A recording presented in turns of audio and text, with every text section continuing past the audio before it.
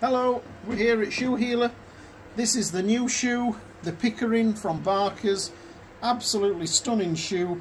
Uh, it's the uh, Goodyear welted with the Barber welt, full leather heel stack. It's the Dainite sole, stunning shoe, fully leather lined. Uh, and it's a long wing, so the toe cap, the sides of the toe cap come all the way down the wings, right the way to the counter at the back of the shoe to the back strip.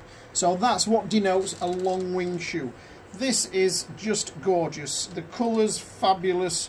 Uh, I, I'm just blown away. It's got a beautiful binding on the edge of the uh, of the upper and it's got blind eyelets. So the eyelets are on the inside there. Can you see the eyelets on the inside?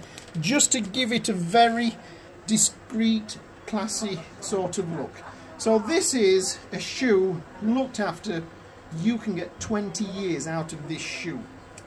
When it is ready for repair we have all the soles and the heel units to go on these shoes so we can keep this shoe going. All you've got to do is look after the upper with a little bit of cream. Remember, polish makes a shoe shine, but does dry the leather up a little bit, whereas a cream nourishes the leather, keeps the shoe going. You do have to put a bit of polish on to get a nice shine, but cream as well.